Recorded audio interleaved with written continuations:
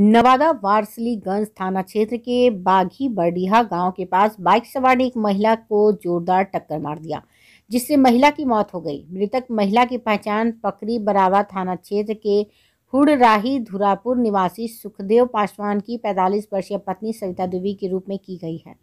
बताया जा रहा है कि मृतक महिला बाघी बरडीहा गाँव में चूड़ा कुटाने के लिए आई थी, तभी सड़क पार करने के दौरान तेज गति से आ रही बाइक ने महिला को जोरदार टक्कर मार दिया।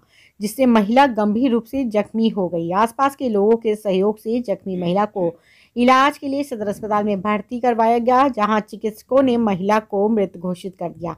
घटना के बाद पूरे परिवार में कोहराम मच गया। फ़िलहाल पुलिस शव को अपने कब्जे में पोस्टमार्टम कराने की प्रक्रिया में जुटी है।